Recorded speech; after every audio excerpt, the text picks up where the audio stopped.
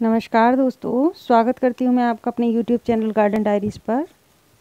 तो दोस्तों, ये आप सामने जो पौधा देख रहे हैं, ये नागचंपा का प्लांट है और ये जो सफ़ेद कलर के फूल हैं, ये इसके फूल हैं। तो इस प्लांट को जो है प्लूमेरिया पुटका भी कहते हैं। और ये एक परमानेंट प्लांट है। इसको अगर हम एक बार लगा लेते हैं तो ये सालों साल इसी तरीके से लगा रहता है। और इस प्लांट पर जितनी भी ब्रांचेस होती हैं, उन पर इसी तरीके से गुच्छों में फूल आते हैं और जितनी भी इस पर ब्रांचेस निकलेंगी, उन सभी पर इस तरीके से इसमें फूल आते एक दूसरा वाला प्लूमेरिया होता है, उसमें गोल पत्तियाँ होती हैं और उसके फूलों में खुशबू होती है।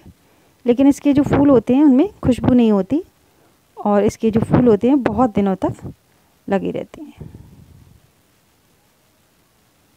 और इसकी आप ये लीव्स देखिए। ये बिल्कुल नाक के फन की तरह इसकी लीव्स लगती हैं। इसलिए इस प्लांट को नाक चंपा भी बोलते हैं। तो ये बहुत ही खूबसूरत प्लांट है। और बहुत तेज़ी से ये बढ़ता है। इस प्लांट को हम कटिंग के द्वारा भी लगा सकते हैं। इसकी कहीं से आप छोटी से छोटी कटिंग ले आएँ और इसको साधारण भी मिट्टी में हम लगा दें तो उससे ये नया पौधा तैयार हो जाता है।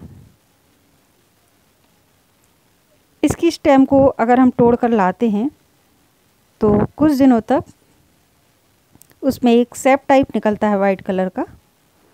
तो हमें इसकी स्टेम को तोड़कर अगर हम लाएँ और उसमें अगर कुछ रस जैसा निकल रहा हो तो उसको दो तीन दिन तक हम यूँ ही छाया में पड़ा रहने दें। इस तरह की हम स्टेम ले सकते हैं,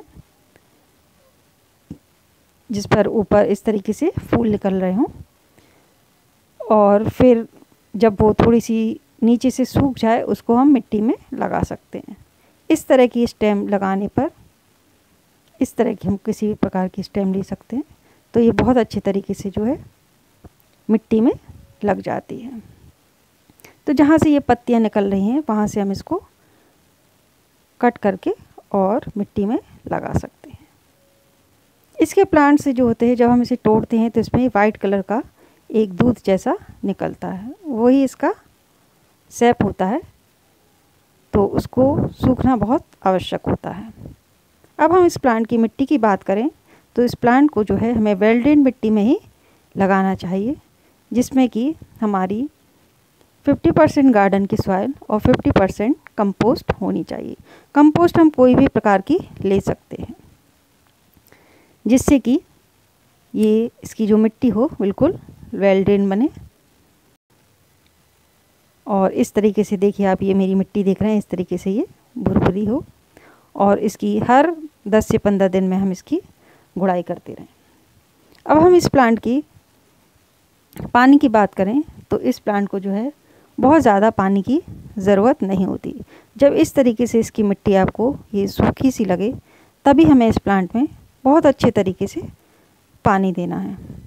पानी हमें अपने इस प्लांट को इतना देना है कि इसकी जो जड़ें होती हैं वो बहुत गहरी होती हैं तो वो पूरी जड़ों तक इसका में जो है पानी पहुँच जाए। तो एक बार जब हम इसमें पानी दें तो बहुत अच्छे तरीके से इस प्लांट को जो है पानी दें। और जब भी हम इस प्लांट को लगाएँ तो एक बहुत ही बड़े से पॉट में लगाएँ। क्योंकि ये जो प्लांट होते हैं, इनकी जड़ें जो होती हैं, बहुत ज़्यादा गहरी होती हैं। तो देखिए मैंने इस प्लांट को इस बाल्टी में लगाया हुआ है। और ये करीब दस लीटर की बाल्टी है। तो ये टूट गई थी, इसमें मैंने इसको लगाया हुआ है। अब हम इस प्लांट की फर्टिलाइज़र की बात करें तो इस प्लांट को ज़्यादा फर्टिलाइज़र की ज़रूरत नहीं होती है। बस हमें हर पंद्रह दिन में इसके ऊपर जैसे और प्लांट पर हम अपने फर्टिलाइज फर्टिलाइज़र में हम डालते हैं तो वही फर्टिलाइज़र हम इस प्लांट को देते दें। तो वैसे तो मैं इसमें लिक्विड फर्टिलाइज़र देती हूँ, गोबर की खाद।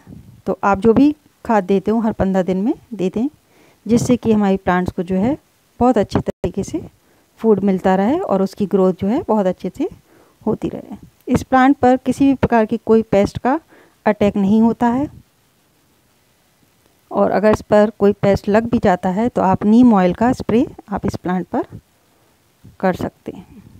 या जो भी आप स्प्रे करते हो तो वो आप इस पर कर सकते हैं। तो ये छोटी सी बातें थी जो मैंने इस प्लांट के बारे में बताई।